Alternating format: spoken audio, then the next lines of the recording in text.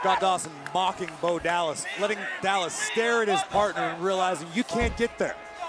It's a psychological battle within a match. The revival really a throwback to the uh, old school tag teams. The mentality absolutely is a throwback. Nothing fancy, nothing pretty, just effective. But these guys can get it done as well as anybody of the modern era. Well, there's no doubt. I agree with you on that point. Bo tried to make a tag.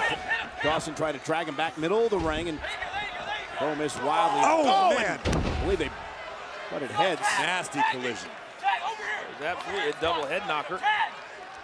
And look at Axel desperately looking to make a tag to his partner, Bo Dallas. Dawson trying to get to...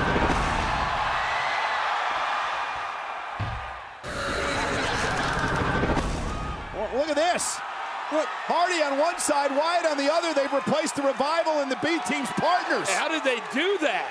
Where are Axel and Wilder? And now Hardy and Wyatt go right after both teams. Twist of fate from Hardy. Oh, give me a... And a sister Abigail. And I believe the deleter of worlds are done playing games. Unless you're talking to the psychological kind, because I don't know if any team does it better than the deleter of worlds.